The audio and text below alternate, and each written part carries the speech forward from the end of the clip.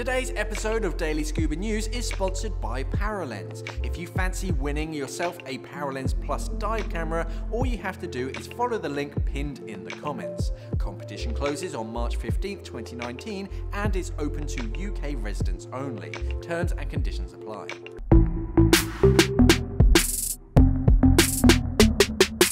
The UK government have announced that electric shock fishing equipment will be banned from the UK waters after Brexit. That's in case, or if it actually happens. Anyway, this controversial fishing method uh, uses electrical signals to drive flatfish, such as sole, from the seabed into nets. This crappy method, as I like to call it, Mark might disagree with me on that, and I'm sure he's going to probably come in at some point and argue with me about this.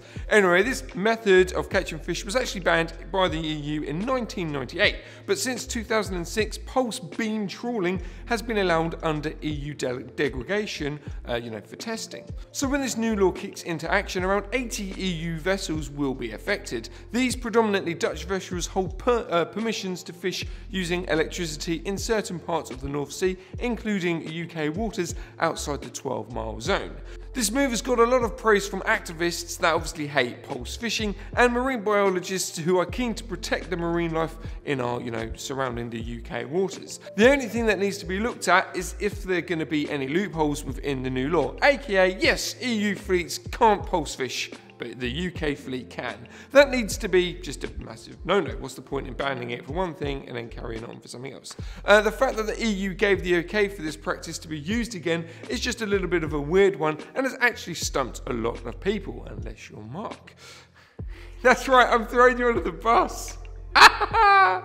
anyway, to be honest, I'm sure that it's something to do with Wonga, a bit of money. Uh, that tends to be the root cause of things like this. Uh, anyway, groups have been working for the past three years to get this ban in the EU. Um, so now, due to Brexit, the ban will, you know, now happen potentially. I'm pretty sure that's probably the first piece of good news I've heard to come out of breakfast. Brexit. I'm so sick of saying that. Anyway, what do you guys think about the news? Is it good or is it bad? Or do you think that it will damage actually fishing livelihoods? Let's have a chat about it in the comments. Thanks for watching. And as always, stay classy, scuba divers. Uh, are you going to say anything, Mark? Or am I just going to end the video?